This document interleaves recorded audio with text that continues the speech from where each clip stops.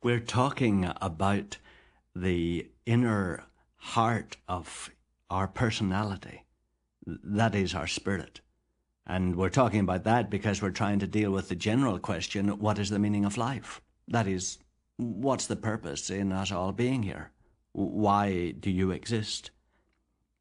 And in connection with that question, we've looked into the origin of life. And in the early days, you remember we talked about the evidence of order and design in our universe that suggested that it was reasonable to believe that there was an intelligent personal mind behind the universe. And then you remember we examined the life of that remarkable person called Jesus, who lived in the first century of our era, and examined his historicity and especially the ways in which he differed from the rest of us human beings, his ability to destroy death and to come back from being dead, and his ability to heal sicknesses and to overcome the powers of nature.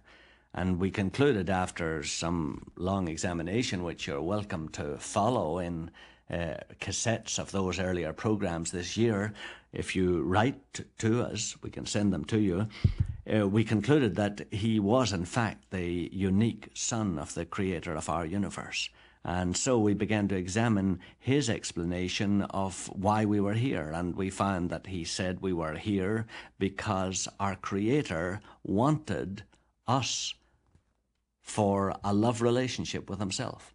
And that's why He made us like Himself and he made us capable of the same things as he is capable of, except that in our case they are eh, finite capabilities rather than infinite. But that's the reason he put us here on earth with certain abilities that nobody else has to begin to develop his world according to his will. And in the process of that, his spirit and life would begin to make us like himself in our inner character as well as our outward capacities, so that we would be able to join him in the complete infinite development of the universe after this life was over on the, on the earth. And so we have come to the point where we've begun to look into his plan for the way our personalities were meant to operate. And we saw that he created us on three levels on a physical level, on a psychological or mental and emotional level. And the one we've been starting to deal with in detail is the spirit level. The spirit is the part of you that is you yourself. It is the heart of your own being. It is the very essence of you. It is you when you are uncompelled by any external financial or social or emotional worry or anxiety. It is you yourself and it's in your spirit that you are able to contact God the Creator. And actually, what we were saying last day, you remember, was that it is in moments of extreme danger or threat of death, or in the presence of the death of someone that you love very much, that you somehow become yourself.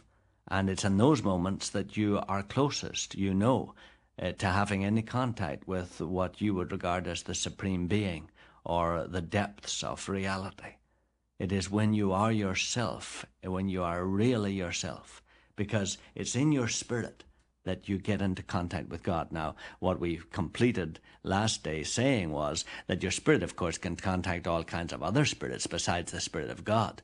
There are other spirits in the universe, and there is really a fallen angel called Satan that has sent his own spirits uh, by God's permission, admittedly, so as to check out our freedom of will and our ability to choose. Uh, there is an evil spirit called Satan, and there are evil spirits that work under his guidance. And many of the so called experiences of transcendental meditation or the experiences of reincarnation or many of the experiences of the uh, bluff sects that abound in our modern world or of the Eastern religions are simply experiences of contact contacting the elemental spirits of the universe who behave and disguise themselves as angels of light and pretend to us that they are God. And so you do have to watch you may say, oh, well, my spirit, that's when I'm really myself. So I'll just be my real self. Well, in fact, you have deteriorated tremendously from what the Creator made you at the beginning.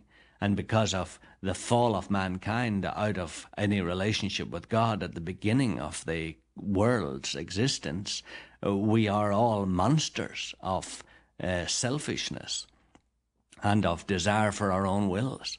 And so if you decide just I'll be my real self, then you'll just be that old miserable Hyde that uh, conceals himself under that respectable Dr. Jekyll on the outside. So it's not enough just I'll be my real self and let it all hang out and that'll get me in contact with God. No, uh, your spirit is your real self, but it takes a work of God in your own life uh, in order to set your real self free so that you can actually be what He made you to be.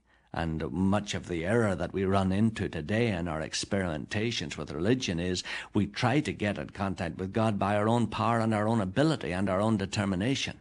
And we end up with human religions of all kinds and mixtures of psychology and spirit and psychic experience that just bring more confusion to our lives rather than a likeness to God Himself. So your spirit is the only part of you that can contact God. And your spirit, one of the elements of your spirit is that it's the real you. But we need to see that the regeneration or the rebirth of that real you takes a work that God alone has done in His Son Jesus, and that He's able to make real in you in order for that real you to come forth. And if you try to drag it forth by your own power and your own ability, you end up usually with a monstrosity that is mixed up in a combination of Eastern religions and psychic spiritualist experiences that just complicate life and make you one of those strange characters that uh, are not nearly as human as the realistic Jesus of Nazareth was. So your spirit is the part of you that communes with God, and it is connected up with being really yourself. Now, another part of your spirit is your conscience. Your conscience is, strictly speaking, not part of your soul or psychological makeup, but it is part of your spirit. And actually, it's the part of your spirit that is probably most alive. Now, the conscience, strictly speaking, as we said several days ago, is the part of us that makes us want to live up to the best that we know but actually it makes us live up to the best that we know from God Himself. It is not the part of us that has a whole set of standards and morals. That usually is stored in the memory of our intellects. But the conscience is the part of us that urges us to live up to the best that we know, so that if we're cannibals, of course, we live up to the best that we know as cannibals if we're Western sophisticates, we live up to the best that we know as Western sophisticates, but the conscience is always making us live up to the best that we know. On top of that, it is a kind of gyro compass that is constantly drawing us towards reality and towards the creator of the universe. So that often, if we followed our conscience, uh, we would be drawn much nearer to a relationship with God than if we followed all the formulae that we store into our minds and all the habits that we try to impregnate our emotions with. So our conscience makes us want to live up to the best that we know. Know where? Well, through the third function of our spirits, which is intuition. Intuition is that part of us that just knows what we should do. It receives odd, intermittent signals from the creator of the universe by which he tries to keep us on track. Because you see, you have a unique life, and he has a unique program for your life, and he is always trying to get you onto that. And it's through intuition of your spirit that he gives you a sense, I should be this, or I should be that and your conscience judges you in the light of that intuition. It's always trying to get you to live up to the intuition that you've received from God Himself. Now, you don't need me to tell you that your life is driven by usually anything but that. Your life is driven by all kinds of desires to please other people, all kinds of desires that uh, society and the media have filled you with to be successful financially or professionally, all kinds of uh, desires connected with emotional and physical fulfillment that drive you, so that most of us are driven men and driven women.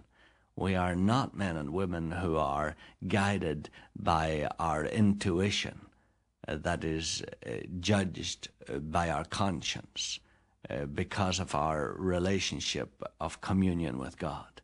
We are usually little robots that are pulled this way and that by the external pressures of our lives, often little puppets uh, pulled about by all kinds of strings.